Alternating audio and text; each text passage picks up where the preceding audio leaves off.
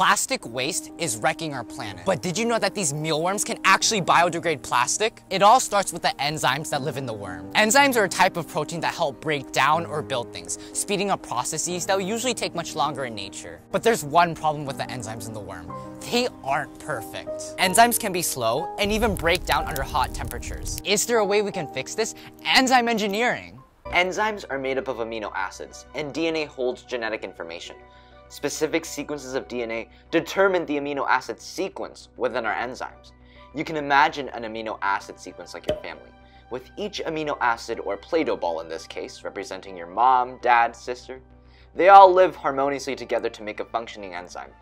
But imagine you're at a family picnic and there's that one cranky cousin who complains about the hot temperatures. That one cousin can ruin your family's picnic. And remember how I told you that enzymes aren't perfect either? Similar to that family picnic, a couple of sensitive amino acids can ruin or denature the entire enzyme under hot temperatures. So how can we fix this in the enzyme? By intentionally making mutations in the specific area of the DNA sequence, we also change the amino acid sequence to swap the bad amino acids out for one with better properties, improving the overall quality of the enzyme.